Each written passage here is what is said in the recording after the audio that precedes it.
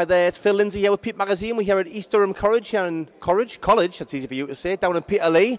And we're here with Warren Baister, who's about to make his debut this weekend on Saturday on the big Callum Rocky, yeah, Callum Smith Rocky Fielding Bill. And uh, you were originally meant to be making your debut on the 20th on the Phil Jeffrey show, but it's come early. That must be even better for you.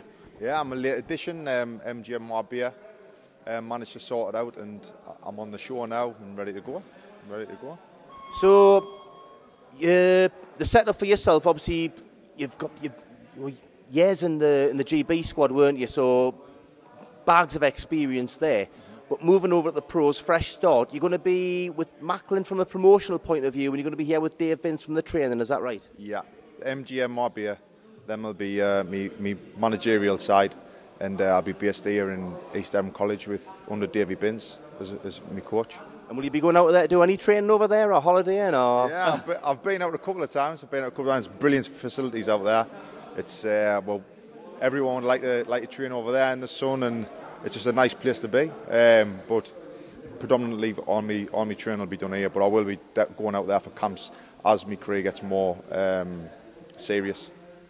So having your debut on this show, I mean, just getting your debut, we must be so excited. But I- must be thinking, get the fight out of the way, get back ringside, and get there as quickly as possible. And but how must it feel? I mean, if you we're talking off camera before about not the fact of going stale, but sometimes when you've been training for a long time, going through the same thing again and again and again, sometimes you need a bit of a boost. And we're saying that turning pro is probably just the boost you needed. Yeah.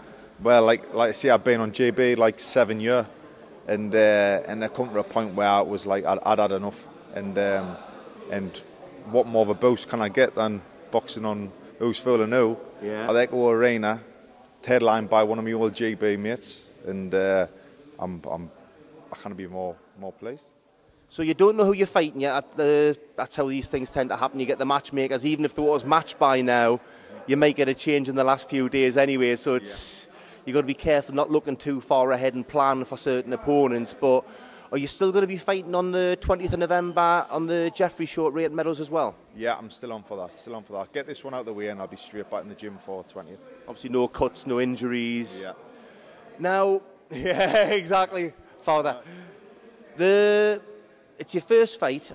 When did you? Was it February you left the GB squad? Is that right? Yeah, it was February, March time, I think it was. I, I, back, back end of February, I think. And when did you start training for your first fight? Um, from, me- from my first fight, I've been, I've been, basically, I've been in the gym all the time. I've just been waiting for the, for the nod to step it up. Do you know what I mean? So I'm, I'm always fit. Um, but so it was like, I think I got, I got the call about three weeks ago that I'd be on this show. And from that point, I stepped it up and uh, got some good sparring in and, and got prepared. So I guess when you're doing the, the amateur boxing, and obviously three threes, and I, again we're talking off camera before, with the head guards and then having to adjust to the professionals, different styles, things like that. With the experience you've got, okay, it's over three threes rather than four threes, but there's probably not that much change to your training until you start stepping up to six and eight rounds. Or have you found any changes since you moved in here with Dave? Um, not. I, I mean, I've sat down with Dave and we're doing. I'm going through my technique again and I'm de- delivering my shots properly and things. But as for um, the longer rounds and stuff, when I was on GB, we always sparred a lot of rounds anyhow. We trained, we trained like professionals down there, probably better than prof- some professionals do. Do you know what I mean? Well, a lot of And- professionals have got work top of it, exactly, they? exactly, exactly. So we like we had the best of the best down there, and and on a, on a Tuesday or Wednesday we'll be doing eight rounds, eight rounds sparring. Then we jump off, do three rounds on the bags, three rounds on the pad. So we're all very very well conditioned. So I think the transition the pros shouldn't shouldn't be too much of a problem. Now, standing just under six four, that's heavyweight size, but you're going to be boxing at cruiserweight. Now, you, you get the likes of, I don't know, David Haye was probably a similar height at cruiserweight, but he really, really struggled to make the weight. Yeah. You don't have those same problems to make the weight, though, do you? No, for some reason my weight just doesn't sh- shift at all. I walk around at 93 kilo and I do an extra couple of runs and I'm down to 91. So it's uh, I, I'm fine with the weight. fine.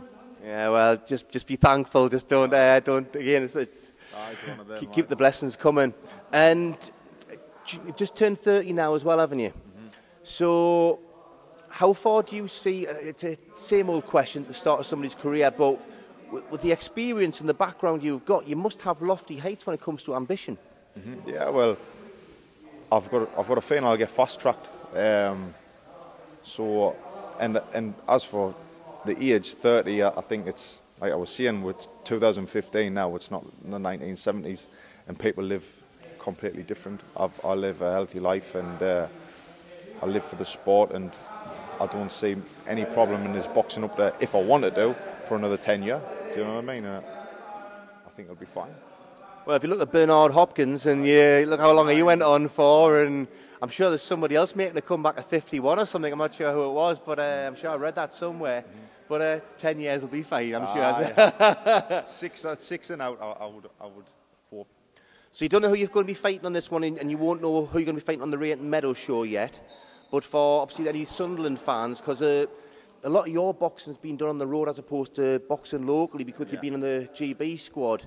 So have you got any, anything you'd like to say to the, the local fans who can be coming out to see you at the Rainton Meadows show? Yeah, just if everyone can turn up, and uh, I'm sure it'll be a great night of boxing. It's a great bill. Jazza Dickinson and Martin Ward topping the bill, and uh, I'll be on there some time before, and uh, everyone who comes will be much appreciated. Get yourself along there. Rainton Meadows, 20th of November. Meantime, all the very best of luck for Saturday. Enjoy the ringside show afterwards. And if I don't see you beforehand, I'll see the show on the 20th. Great stuff.